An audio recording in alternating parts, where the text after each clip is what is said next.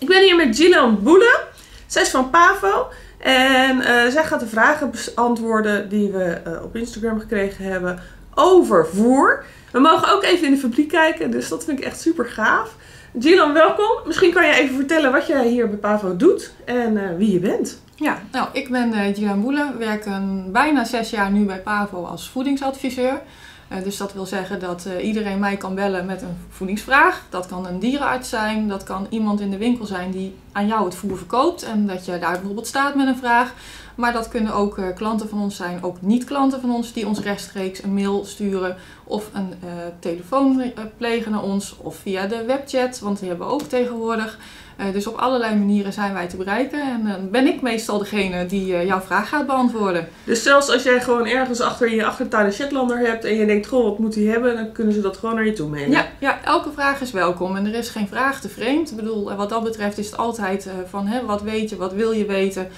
heb jij je paard altijd op een manege gehad? Moet je het ineens zelf gaan doen? Ja, dan ineens gaat, komt de vraag boven van, wat moet ik mijn paard eigenlijk voeren? En wat de stalhouder tot nu toe heeft gevoerd, wil niet zeggen dat jij dat straks zelf ook wil gaan doen. Al kan dat soms wel een goed uitgangspunt zijn, omdat je dan in ieder geval weet op welk rantsoen die het tot nu toe goed heeft gedaan. Of misschien wel juist niet. Kan zelfs een reden zijn voor sommige mensen om weg te gaan op een manege, heb ik Ja. begrepen. Ik Ja. heb daar zelf helemaal geen last van. Bij ons wordt echt heel goed voor de paardjes gezorgd. Maar ik heb wel begrepen dat sommige mensen inderdaad van stal wijzigen, gewoon puur omdat ze het niet eens zijn met het voer. Ja, klopt. Dus ik kan me er iets bij voorstellen. De basis, gewoon basis. Is er verschil tussen een paard en een pony, behalve de hoeveelheid natuurlijk, van wat ze nodig hebben? Ja, als je puur kijkt natuurlijk naar de grootte, heeft het te maken met eh, hè, hoeveel kun je eten. Ik bedoel, een groot paard zal min, meer gras en meer hooi eten dan een pony. Want ja, naar verhouding gaan die volumes ook eh, wisselen.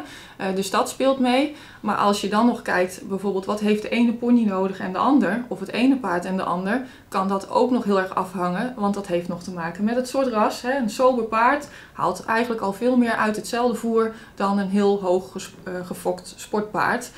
Ze gaan, koudbloeden gaan gewoon efficiënter om met hun voer. Eh, het lijkt altijd alsof ze zich aan het voorbereiden zijn op de eerstkomende ijstijd. Dus eh, je, die zie je letterlijk van lucht dik worden, omdat ze bewijzen van uit de lucht nog voeding kunnen halen. Oké. Ehm, maar ga je met zo'n koudbloed of met een Shetlander of in ieder geval een sober ras ineens heel hard sporten. En dat, kun, en dat kan zijn wedstrijdsport, maar dat kan ook zijn dat jij vier keer in de week een lange buitenrit maakt. Ja. Ehm, dan kan het dus zijn dat jouw sobere ras toch ineens meer nodig heeft. Vergelijkbaar met misschien wel een, een Arabier, noem ik maar even. Dus hè, het is niet puur kijken naar heb ik een paard of pony of een, eh, een sober ras of een eh, heel heet bloedpaard of pony. Ehm, wat je ermee doet speelt dus ook nog een rol. Oké.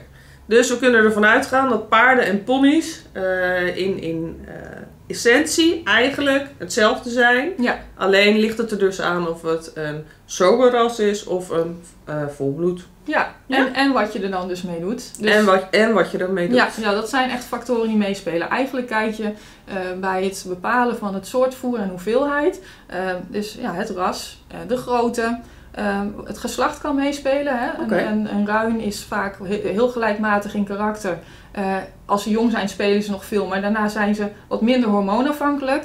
Hengsten hebben vaak een hogere energiebehoefte. Ja. Ehm, dus dat zijn dingen die meespelen. En dan dus de mate van inspanning en hoe vaak. En dan spelen de seizoenen uiteindelijk ook weer nog mee. En of een paard op, of pony op stal staat of niet. Ehm, dus je kunt het heel ingewikkeld maken. Uiteindelijk blijft het oude spreekwoord gelden. Het oog van de meester maakt het paard vet. Oh, hè, je- als- ja, dat is nog steeds. Kijk naar je paard of pony. Hij moet niet tonnetje zijn. Hij moet niet door de wijk kunnen rollen met één zetje. Ehm, maar je moet ook niet natuurlijk de ribben kunnen zien. En daar zit een grens tussenin. En bij sommigen zal het heel makkelijk zijn om ze op gewicht te houden. Dat je denkt, nou die van mij is gewoon altijd goed. Dan heb je een hele makkelijke. En er zijn er die bijvoorbeeld in de winter gaan terugvallen. Eh, dus nou ja, dan moet je je weer gaan aanpassen. Oké. Wat is de basis van, van alles? Ja, Ja, dat, dat is de baan. Maar hoe... hoe Oké, ik heb mijn paard gekocht. Ik heb nu een pony erbij. En ik ga gewoon naar stal. En dan zeg ik... hey Linda, wat moet hij hebben? En dan zegt Linda... Even kijken. Nou, dat en dat en dat. Maar goed, niet iedereen heeft dat. Dus hoe kom ik er dan achter... als ik Linda niet zou hebben... eh, wat ga ik mijn paard of pony nou geven? ja. Nou, je hebt natuurlijk eh, basisbehoeften, minimale behoeften die waaraan je moet voldoen. Ehm, en daarna ga je dan kijken van is er misschien extra nodig naast die basisbehoeften.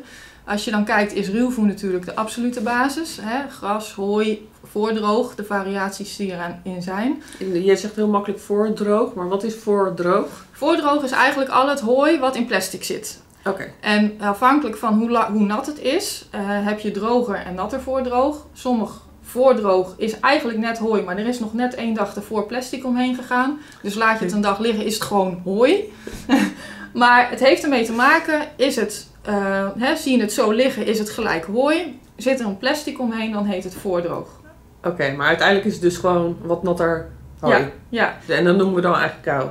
Klopt. Ja, kuil, het kuil en voordroog wordt met elkaar afgewisseld. En het heeft ook nog wel te maken met de manier van conserveren. Ja? Eh, eh, dat hooi echt gewoon puur gedroogd is. Mhm. Eh, bij voordroog of kuil, en vroeger heette het weer echt ja, kuilgras omdat het in een put werd gelegd bij de boer. Vandaar komt die benaming. Dan weten we dat ook. Ja, eh, die kuilde dat letterlijk in. Dan rees het in een grote bak, werd alles aangestampt, ging een zeil overheen. En dat, daarom heette dat ingekuild. Ja? Ehm, en later werden dat die handige balen, veel handzamer. Maar daarvoor komt de term dus nog kuilgras. Maar kuilgras voor koeien is veel natter. En daarom hebben ze een onderscheid gemaakt eh, in koeien. Ja. En dat wordt nog steeds kuilgras genoemd. Ja? Dat is vaak dus veel natter en zuurder. En voordroog is eigenlijk de gebruikte term voor paarden. Daar zit dus ook weer wat minder vocht in. Ja? Anders gaan paarden toch al snel aan de diarree. Ehm, en het heeft te maken dus met eh, de conservering. En, en dat is misschien even een, een, een zijspoortje. Bij hooi is het gewoon puur drogen. Ja? Bij voordroog eh, het gaan eigenlijk de bacteriën het conserveren. Dus alle zuurstof wordt uit de verpakking gehaald. Ja? Dat wordt door de bacteriën eigenlijk omgezet. En daardoor, omdat er geen zuurstof meer in zit, daardoor blijft het behouden. En die zuurstof halen ze eruit door die plastic dingen. Ja, ja. Want dat zit, die bacteriën zitten dan bij in opgesloten, dus er kan niks nieuws bij. En daarom dat je dus ook krijgt op het moment dat er door vogels of een trekker een eh, gat Ja. ingeboord of geboord geprikt wordt, dat het daar gaat schimmelen. Omdat er dan Ah. ineens weer zuurstof bij komt. eh, en dan krijg je dus een reactie dat schimmels en dergelijke zich kunnen gaan ontwikkelen. Wat je eigenlijk ook Heel ziet op duidelijk. nat geregend hooi, dat dat gaat ook schimmelen. Dat gebeurt er dan eigenlijk bij, bij voordroog op het moment dat de verpakking stuk gaat. Dus eigenlijk moet je ervoor zorgen dat je verpakking heel blijft. Ja, dus je ziet vaak een extra laagje plastic of een gaatje wordt gelijk weer dichtgetaped. Eh, en dat is eigenlijk ook waarom bijvoorbeeld bij boeren vaak netten overheen liggen om de vogels te weren. Kijk, nou dan hebben we dat alvast geleerd. Bewaar je voordroog in ieder geval goed geconserveerd. Dat betekent dus eigenlijk zorg dat de verpakking niet kapot gaat. Ja, ja. Oké, dus ze moeten kuil hebben. En hoeveel, of kuil voor mij, voordroog. Hoeveel? Eh, daarin kijk je normaal gesproken naar het droge stofgehalte, omdat voor paarden eh, in de berekeningen met voedingswaardes altijd ge- gekeken wordt naar de gehaltes in droge stofgehalte. En als je Dan weet waarschijnlijk helemaal niemand wat droog stofgehalte is. dat is eigenlijk het gedeelte als je 100, al het vocht eruit haalt. Oké, ja? Dus 100% eh, droog, dat is eigenlijk gewoon, ja, ik noem maar even stof. Ja? Ehm, en maar plantaardig materiaal is eigenlijk bijna nooit 100% droog. Nee. Dus hooi zit bijvoorbeeld zo tussen de 80 en 85% droge stof. Ja? Dus dat betekent dat de rest, eh, die overige 15% eh, tot 20% is nog wat, wat vocht wat er nog in de pla- plant is overgebleven. En bij voordroog eh, heb je het al vaak over eh, percentages van tussen de 60 en 80% droge stofgehalte. Oké. Dus dat betekent ook dat je, eh, als jij van een baal voordroog of van een baal hooi wat pakt en het weegt beide 1 kilo, dan is van hooi een groter deel voedingswaarde, Omdat er geen vocht in zit. precies, Aha. dan in voordroog. Oké.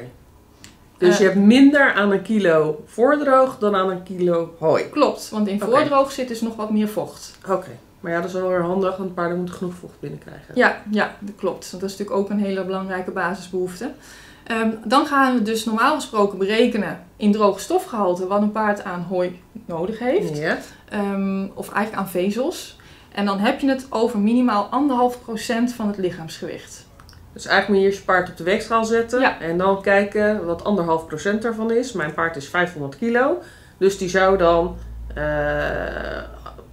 5 kilo moeten hebben. Iets meer, 7 Ja. kilo. Ja, in Per droog, dag. in droog In stofgehalte. droogstofgehalte. Dus dan zou, kom je op zeg maar, een, eh, nou, grofweg even 10 kilo hooi uit. Oké, dus dan 10 kilo hooi moet ze hebben per dag. Eh, Gewoon omdat zij 500 kilo weegt en dan hebben we het dus nog niet eens over beweging en andere Klopt. dingen. We hebben het alleen over het gewicht. Dus je neemt Ja. eerst het gewicht, daar anderhalf procent van en dat geef je in ieder geval. Ja, en dat is dus de minimale behoefte. Ja? Ehm, dat wil ook zeggen dat als er ruimte in het rantsoen is qua energie, dat je het liefst meer voert qua ruwvoer. Ja? Ehm, uiteindelijk telt voor dat droge stofgehalte krachtvoer ook mee. Alles wat er aan voeding in een rantsoen zit, telt mee in die gehaltes. Eh, maar ruwvoer is en blijft het belangrijkste vanwege die vezels. Eh, want daar is het paard eigenlijk op gemaakt, vezelvertering. Vandaar die hele lange, dikke darm, blinde darm. Eh, die doen de vertering, die halen de energie uit dat hooi. Eh, dus daar kunnen de meeste paarden en ponies het eigenlijk heel goed op doen. Oké. En dan gaat wel meespelen hoeveel energie er in dat hooi of voordroog zit. Omdat ook daar verschil in zit. En het kan dus maar zo zijn dat als jij een paard of pony hebt die op de ene partij hooi of voordroog eh, met een bepaalde hoeveelheid, ik noem maar 6 of 10 kilo, ehm, heel goed zijn energie eruit kan halen, mooi op gewicht blijft en energie heeft voor het werk, dat er een nieuwe partij komt en dat, dat met dezelfde hoeveelheid er ineens gewicht verloren wordt. Daar heeft mijn paard last van gehad, inderdaad. Toen kreeg ze dan gewoon meer, dat is verder geen probleem. Maar Ja. omdat er een deken overheen ligt momenteel, ja, dan zie je dat niet zo snel. Dus inderdaad, eh, toen was ze opeens wat minder eh, vol geworden. Dan was Ja. ze niet mager, maar ik had wel zoiets van, hé, hey, ik zie de scheiding van de ribben.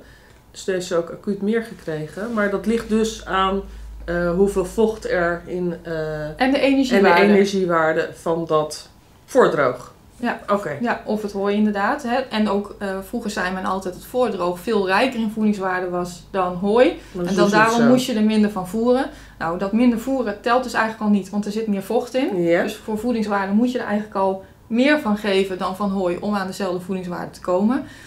En tegenwoordig wordt zoveel voordroog speciaal voor paarden gemaakt, dat qua hooi en voordroog de voedingswaarde eigenlijk net zoveel kan verschillen van elkaar als onderling. Dus je hebt energierijk hooi en je hebt heel arm hooi. En je hebt heel energierijk voordroog en heel energiearm. Dus dat maakt het alweer minder makkelijk als je zegt van nou ik geef altijd voordroog want er zit meer in. Dat kun je dus tegenwoordig eigenlijk niet meer zeggen. Je moet dus echt nu gewoon continu op je paard letten. Ja, Of ja. je pony. En heb je een stal waar heel veel wisselende partijen zijn. Hè? Stel je staat op een manege of een pensionstal waar bij wijze van elke vier weken of zes weken een nieuwe partij komt. Dan vaak middelt dat zich zo uit dat je, eh, als die de ene keer wat afvalt, komt die de volgende keer Ah, wat bij. Dan hoef je daar niet, dan zal de stalhouder daar zelf eerder rekening mee houden. ehm, dan dat je daar zelf heel erg op moet letten. Ehm, heb je zelf hooi ingekocht en je hebt het bijvoorbeeld voor een half jaar en het blijkt dat jouw paard of paarden of ponies gaan afvallen, eh, dan kan het dus zijn dat jouw huidige partij armer is dan de vorige. En dan moet je dus inderdaad eigenlijk al meer gaan voeren. Of bijvoorbeeld een extra aanvulling met krachtvoer doen. Oké. Dit is dus wat je moet weten over ruwvoer. Gillen, heel erg bedankt dat we hier eh, mochten zijn. En eh, we zien je graag de volgende keer terug voor het verhaal over eh, aanvullende voederen. Heet ja, dat zo? aanvullende voeders. aanvullende voeders. Ja. Dan de aanvullende voeders. Bedankt voor het kijken. Eh, ik zie jullie graag bij de volgende video. Doeg!